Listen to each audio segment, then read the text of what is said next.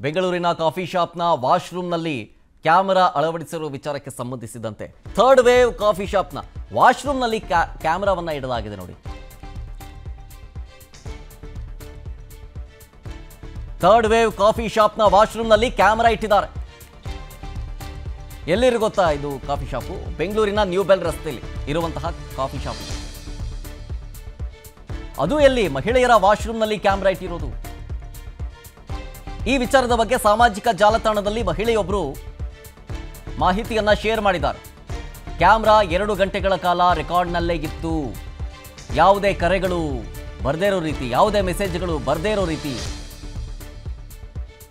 Flight mode activate ಆಯಿತು.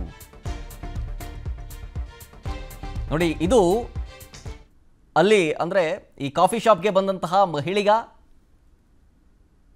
ಒಂದು social ಮೀಡಿಯಾದಲ್ಲಿ ಹಾಕಿದಂತಹ ಮೆಸೇಜ್ ಅದು. ಮತ್ತೊಂದು ಕಡೆ ಥರ್ಡ್ ವೇವ್ ಅಧಿಕೃತವಾಗಿ ಅವರು ಕೂಡ ಟ್ವೀಟ್ ಮಾಡಿದ್ದಾರೆ.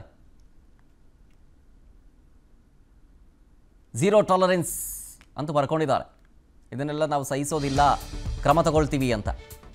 ಡಸ್ಟ್ಬಿನ್ ಕವರ್ನಲ್ಲಿ ಡೌಟ್ ಬರ್ದೇ ಇರೋ ರೀತಿ ಫೋನನ್ನು ಬಚ್ಚಿಟ್ಟಿದ್ರಂತೆ ನೋಡಿ.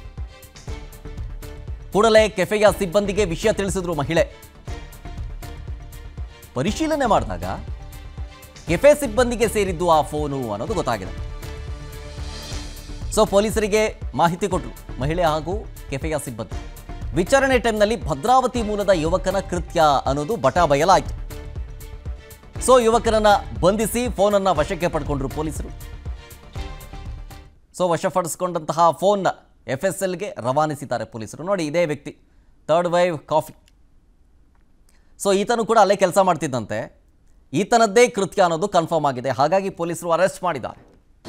ಅನುಕ್ಷಣದ ಸುದ್ದಿಗಳಿಗಾಗಿ Vistara news YouTube channel subscribe ಮಾಡಿ.